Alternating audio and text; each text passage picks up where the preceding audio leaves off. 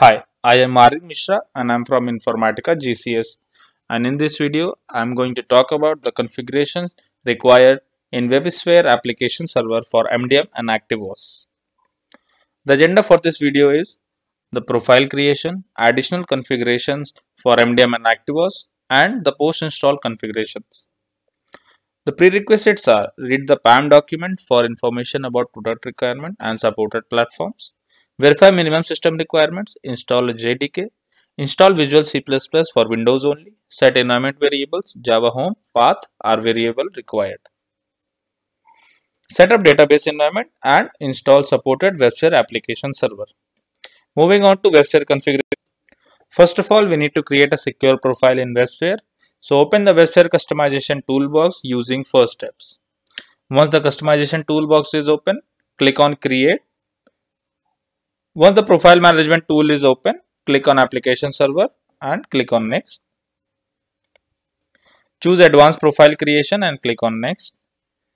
Choose all the three options under optional application deployment and click on next. Choose the profile name and the directory where you want to create the profile and click on next. Give the node name, server name and the host name and click on next. Choose enable administrative security and choose add username and password.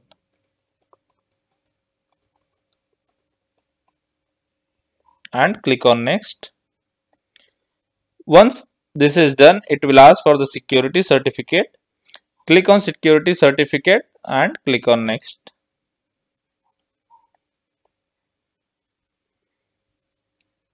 Under security certificate part 2, click on next. Please check the port values assignment and click on next. Run the application server process as a Windows server, choose it and log on as a local system account and click on next. You can skip this web server definition and click on next. Finally, click on create. Now wait for profile management tool to create your profile. After profile is successfully created, log on to WebSphere admin console using the password that we chose. Go to security, global security and click on enable application security. Please expand RMI slash IIOP security and go to CS CSI v2 inbound communication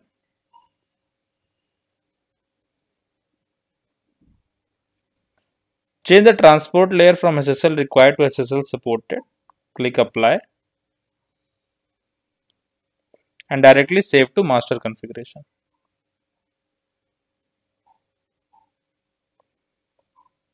Enable application security, apply and save directly to master configuration. Once these changes are done, we need to create ActiveVOS user in order to use ActiveVOS console.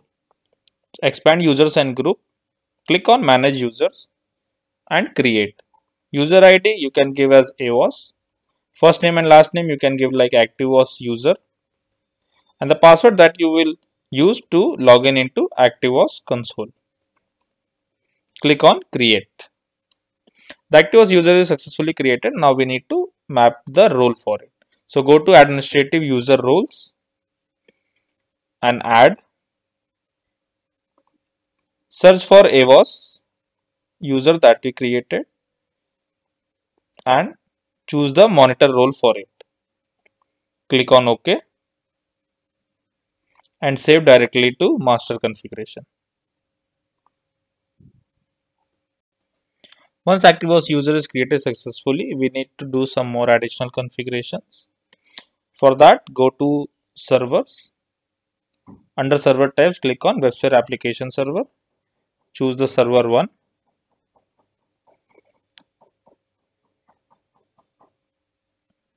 Go to Java and process management and click on process definitions. Under that, click on Java virtual machine. Here we need to set the initial and maximum heap size. And under generic JVM argument we need to provide one property and click on apply and save directly to master database. Once this is done, we need to go to environment. Under environment, we need to go to WebSphere variables.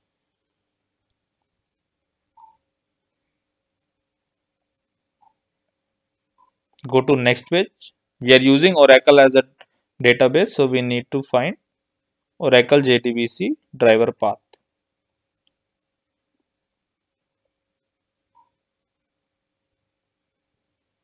Oracle JDBC driver path, click on it. And provide the value here where for the WebSphere installation directly under lib.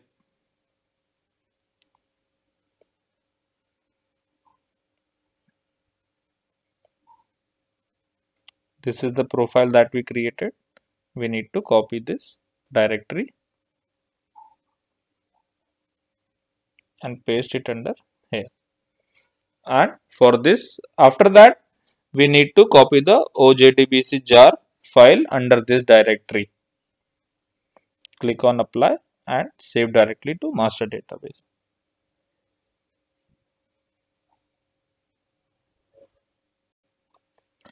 once these configurations are done we are ready to install MDM and ActiveVOS once MDM and ActiveVOS are installed and the build are successful then we need to move on to post installation task and the configuration that we need to do. For that we need to map the AWOS user to AB trust role first of all. Go to applications under application type click WebSphere enterprise applications click, uh, choose AVE underscore websphere.er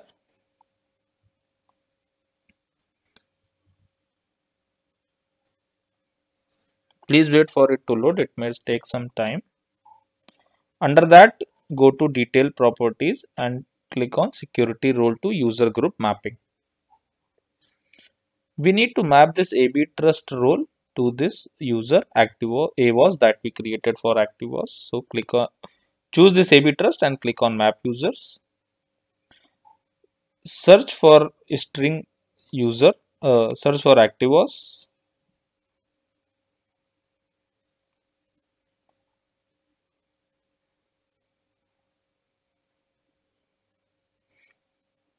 and select it. Click on ok.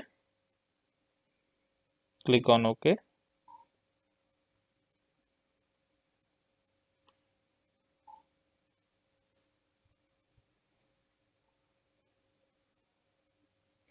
and save directly to master configuration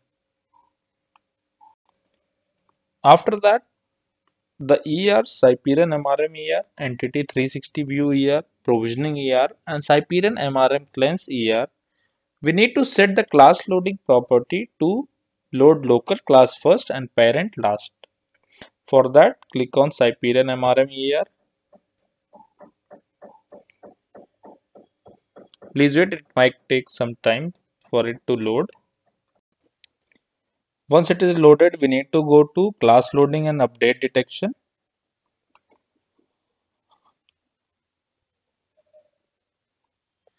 And here we need to choose the class loader order as classes loaded with loader class, local class loader first and parent last.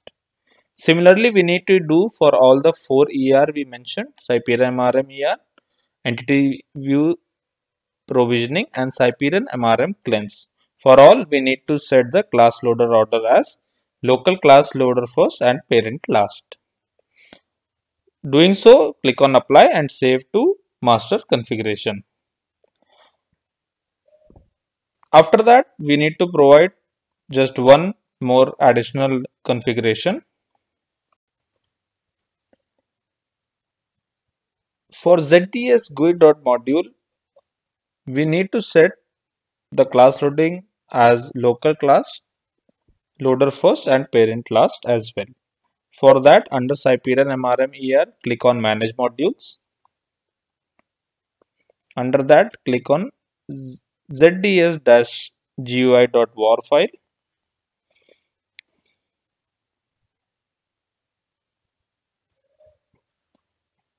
It may take some time to load it. Please wait.